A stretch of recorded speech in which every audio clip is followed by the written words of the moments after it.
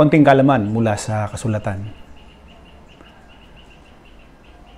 Dito po sa ating nasa screen ngayon na sa Mateo 24.1, ito po ay kalimitang binabasa, iniaaral sa pulpito, ipinangangaral.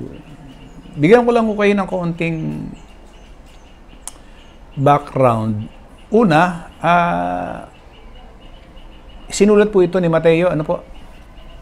At alam naman natin na ito ay nung unang siglo ang papansinin po lang natin ngayon ay yung ginagamit nila ito bilang talata at pagkatapos. Siyempre, ipinangangaral dun sa kanilang mga membro. Ano?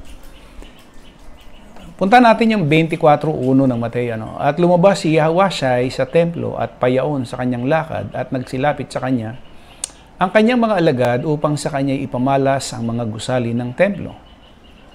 Datapot siya sumagot at sa kanila sinabi, hindi ba ganinyo nangakakita ang lahat ng mga bagay na ito? Yung gusali, yung templo. Katotohanan sinasabi ko sa inyo, ang, ang audience po niya rito ay yung kanyang mga alagad. Uh, ibig sabihin, kung yung audience niya, yung kanyang mga alagad nung unang siglo, bakit naman no ginagamit nitong mga 21st century na mga ministro at pastor at pare o kung sino mang nangangaral itong bagay na ito. Samantalang, yung kanya palang mga tagapakinig nung panahon na yun, na yung kanya mga alagad. At bakit pilit nilang sinisiksik itong mga talatang ito para doon sa sinasabing katapusan ng sanlibutan? Ano? Ayan. Tuloy natin. Katotohanan sinasabi ko sa inyo, ang kausap niya yung kanyang mga lagad. Hindi tayo. O, oh, hindi ho tayo. Yun ang gusto kong i-emphasis dito, hindi ho tayo yung kausap. Ang kausap niya rito ay yung kanyang mga lagad. Ano ang sabi niya doon sa kanyang mga lagad? Dito'y walang maiiwang isang bato sa ibabaw ng, ng ibang bato na hindi ibabagsak. Ano? Ang kausap niya yung kanyang mga lagad. Tres. At samantalang siya ay nakaupo sa bundok ng mga olibo ay nagsilapit sa kanya ng bukod ang mga lagad. Na nagsisipagsabi, sabihin mo sa amin, sino ang kausap? Yung mga lagad. Yung audience niya, yung kanya mga lagad. Kailan mangyayari ang mga bagay na ito? Ang alin? Yung sinabi niya dun sa uno hanggang dos. At ano ang magiging tanda ng iyong pagparito at ng katapusan ng sanlibutan? Ha? At sumagot si Yahweh at sinabi sa kanya, kanila, Mangag-ingat kayo, o yung mga lagad, huwag nyo kasing isiksik yung sarili ninyo doon sa binabasa ninyo. Huwag nyo isiksik. Kasi kaya nagkakaroon ng kaguluhan, kasi sinisiksik nyo mabuti, yung sarili nyo nung unang siglo na hindi naman dapat. Mangag-ingat kayo, sino ang sinasabihan? Yung kanyang mga alagad na huwag kayong mailigaw ni naman. Bakit nyo ginagamit itong talatang ito at pilit nyong isinisiksik yung sarili nyo na hindi naman kayo? Ano ba ano ba ang pwedeng ano ang pwedeng itawag sa inyo? Huh? Ano ang pwedeng itawag sa inyo? Kasi isinisiksik nyo yung sarili nyo doon sa talata. Kaya napakaraming reliyon, kaya maraming mga sekta at pananampalataya. Ibang iba't iba ang paniniwala, iba't iba ang ang naging aral doktrina. Kasi nga yung sarili nila isinisiksik doon sa talata, pilit na isinisiksik yung sarili, hindi naman kayo kasama. Wala kayong kamuwangan. Oh, hindi kayo kabilang sapagkat yan ay nung unang siglo. Hindi ho ba? Mm. Ingat kayo na huwag kayong mailigaw ni man. O tapos, sasabihin nyo ngayon doon sa inyong mga membro, doon sa inyong pinangangaralan, o mga kapatid, sabi dito sa Mateo 24, 4, Mangag-ingat kayo na huwag kayong mailigaw ni man. Ah, sabihin doon sa mga membro. O huwag kayong wika makinig doon.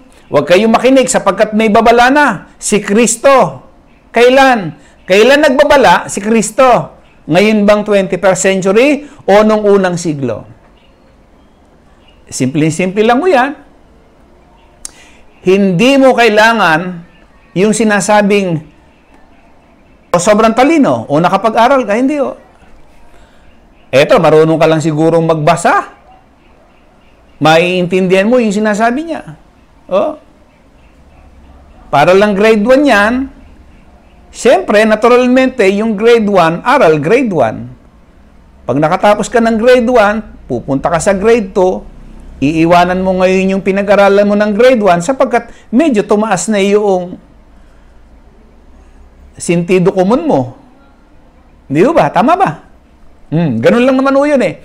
Pero bakit marami hong mga may pinag-aralan, hindi nakikita ito mga nakapagtapos ng ininyero, mga doktor, mga abogado, teacher, hindi nila nakikita na ito palang isinulat ni Mateo na ito nung unang siglo, hindi ho pala naman para sa atin.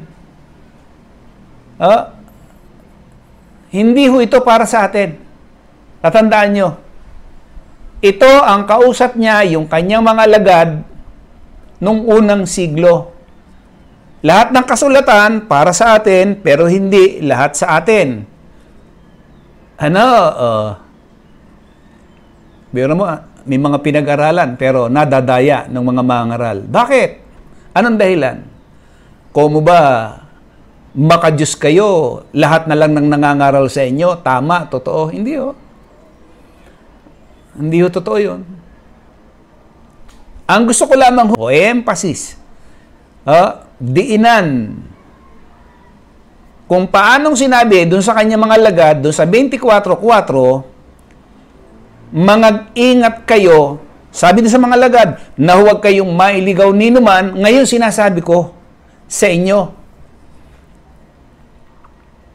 Hindi ko gagamitin yung sinabi doon sa Mateo 24.4 sapagkat yan ay para doon sa kanya mga alagad nung unang siglo. Patay na yung mga alagad nung unang siglo.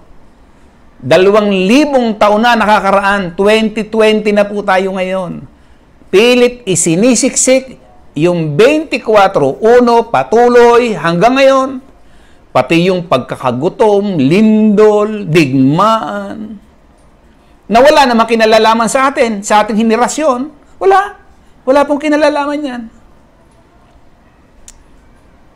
Bakit? Kasi po, ang daming mandaraya, puro mandaraya, puro kasinungalingan, ang mga pinagsasasabi ng na, nakararaming mga nangangaral ngayon. Ano po? Kaunting kalaman mula sa kasulatan. Maraming maraming pong salamat sa inyong lahat.